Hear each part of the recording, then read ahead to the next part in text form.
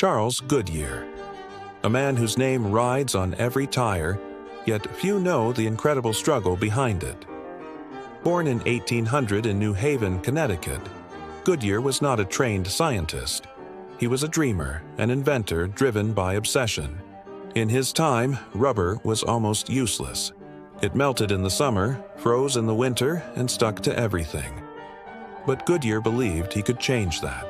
He spent years experimenting with different mixtures of rubber, chemicals, and heat. His obsession cost him everything.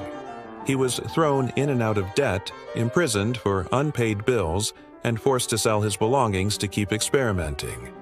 Even his family suffered as he chased what many called an impossible dream. Then, in 1839, fate struck. One day, he accidentally dropped a mixture of rubber and sulfur onto a hot stove. To his astonishment, it did not melt or crack. It became strong, flexible, and weatherproof. Goodyear had discovered vulcanized rubber, a material that would revolutionize industry, transportation, and modern life. Despite his breakthrough, Goodyear never grew wealthy.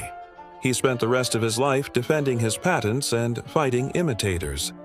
He died in 1860, deeply in debt, never knowing how his invention would shape the world.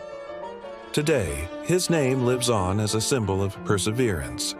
Charles Goodyear turned a sticky, unreliable substance into one of the foundations of the modern age. His legacy rolls on every road, in every tire, and in every invention built to endure.